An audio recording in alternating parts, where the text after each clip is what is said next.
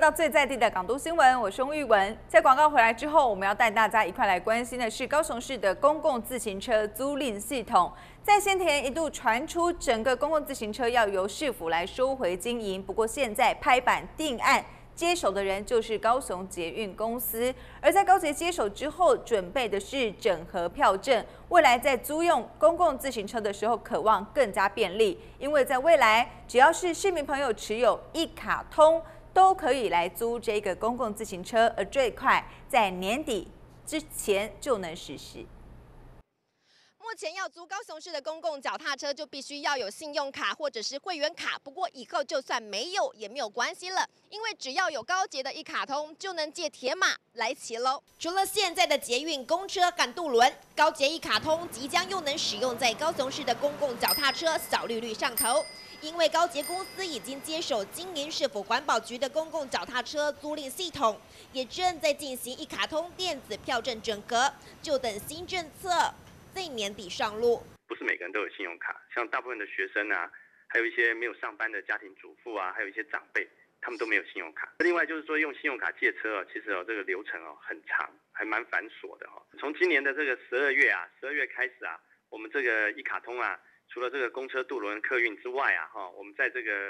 呃，高雄的这个公共自行车的这个租赁啊，也可以用我们这个一卡通来做租赁啊。最快在今年十二月，民众就能手持一卡通搭乘或租借高雄市的公共交通工具，行骗港都。一卡通真的龙给通了，尤其是公共脚踏车，为了鼓励民众多多搭乘，高捷公司还将规划转乘优惠，保证未来骑小绿绿转搭公车和捷运等大众运输，只会越便宜划算。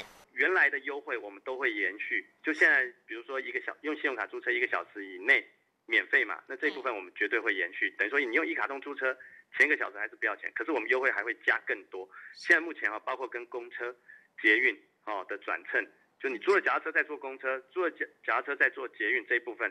我们现在跟交通局、捷运局还有环保局啊一起，我们现在在规划，看要提供什么样优惠，优惠只会更多，不会更少，这个民众大可放心啊。希望提高服务品质，高捷公司表示，为了方便民众，也将开设二十四小时专属于公共脚踏车的客服专线。结合既有优势，捷运站还会有至少两座的人工服务据点。随着县市合并，环保局也有意拓展大高雄租赁据点，以捷运站及人口密集处为优先，让一卡通租铁马的便民。措施由点到面，让更多人都能轻松享受。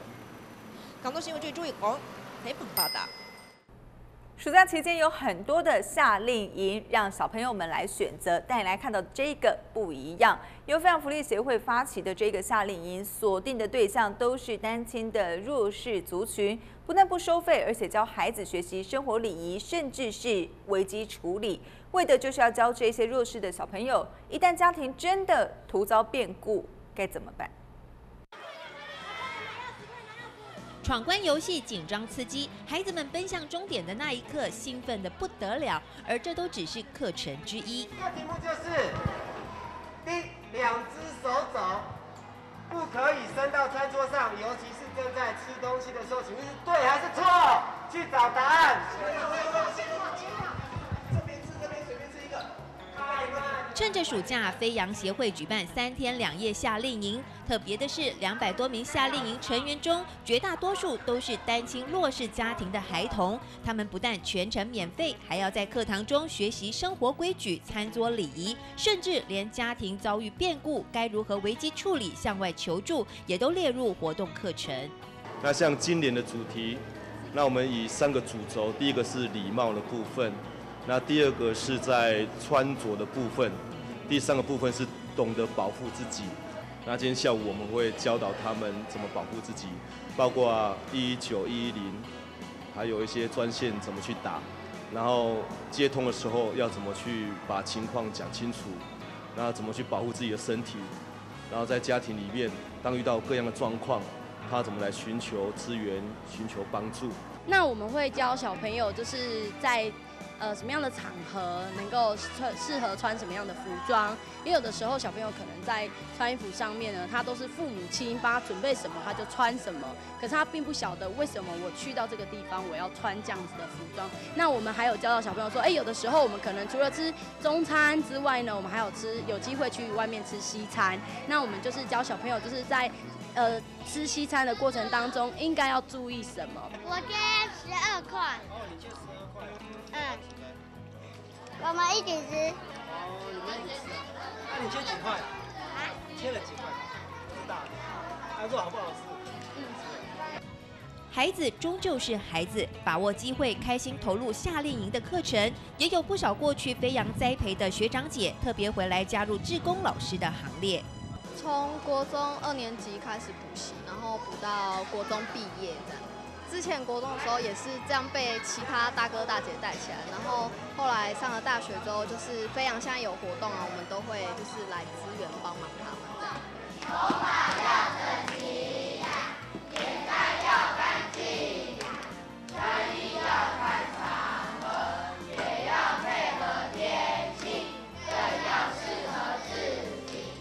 尽管今年经费比往年来的拮据，协会还是坚持举办夏令营。除了靠着各界捐款，就是来自教会的捐献。对身处弱势家庭的孩子来说，有机会和其他孩子一样体验夏令营的乐趣，除了成长之外，也充分感受到社会的温情。港都新闻郑景宏、王思武采访报道。从绘本开始建立个人风格，绘本画家吉米的名气早已是国际化。而现在更进一步，绘本作品的内容来艺术化，也特别来到高雄办展。而吉米更因本台记者的要求来进行独家专访。接下来要带大家一块走入吉米的内心世界。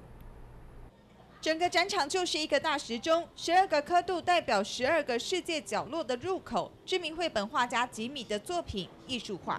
吉米世界的角落特展，因为是从吉米两本书啊，一本是躲进世界的角落，然后一本是走向春天的下午。那躲进跟走向都是一个行动啊，然后呃世界跟角落是空间，然后春天跟下午是时间，所以其实整个展览就在讲。呃，时间跟空间，然后还有一个是呃现实跟非现实，就是呃呃写实跟非呃超写实这样子的一个概念。从平面绘本、影视动画改编到跨领域的艺术合作，在这一次的特展中，邀来台湾和瑞典超过二十位设计师展出多元风格。吉米把画画当成内心世界的写照，得到热烈回响。高雄展出的作品都是关于一个小孩。他躲在一个寂寞的角落，观看这个世界的角度，那并不一定或特别要传达什么，但是要传达一个氛围，就是一个寂静的空间，一个沉思的空间，一个跟一个沉淀的地方。其实我创作观察的地方并不多，我比较是从从内在去发想。十多年下来，即使已经建立个人绘本风格，打响国际知名度，吉米也不免俗的遇过创作者的压力瓶颈。还是要靠时间，因为当下有时候很多问题没办法解决，所以时间可以让你沉淀，时间可以带给你新的想法。等到你经过一段时间再回头看，你无法突破的或是你低潮的地方。就慢慢可以找到答案。我还是要继续，我并不能，就是创作者好像没有办法因为创作低潮就离开。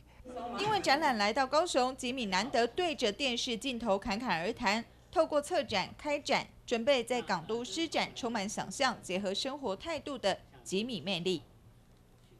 港都新闻正景洪玉文采访报道。明天在黄历上适合做哪些事情，又有哪些小细节要提醒您特别当心？带你一块来参考农民地。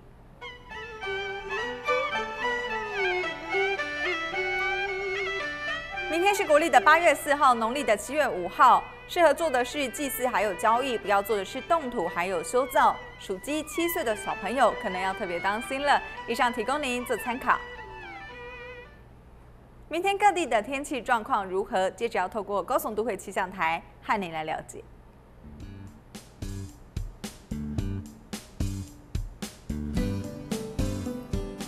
高雄、台南、屏东地区多云有下雨机会，气温是二十八到三十三度。南投、台中、彰化、云林、嘉义地区多云时晴有下雨机会，气温是二十七到三十三度。台北、基隆、北海岸、桃竹苗地区多云短暂阵雨，气温是二十八到三十五度。宜兰、花莲、台东、澎湖、金门、马祖地区多云有下雨的机会，气温是二十七到三十四度。继续来看到的是紫外线指数的部分，明天北部还有东部地区是过量级，而中部和南部地区到达的是危险级。以上提供您做参考。